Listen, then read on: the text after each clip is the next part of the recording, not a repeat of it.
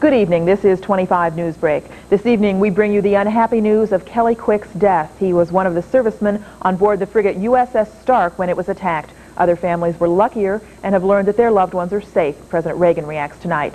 We'll have those stories as well as weather and sports news, all that coming up at 11. Looking through the yellow pages can be a real pain. Dial 234-SHOP instead. For instant information, stop looking, start dialing 234-SHOP. We've got your number. Did you hear the best kept secret in Genesee County? No. The best car and truck savings are at McNally Buick Chevrolet. Uh, that's no secret. That's a fact. Pat with weather and Terry with Tigers baseball. We'll see you at 11. Top Gun's Tom Cruise on entertainment tonight. See the Big Apple Menagerie at Fashion Square Mall.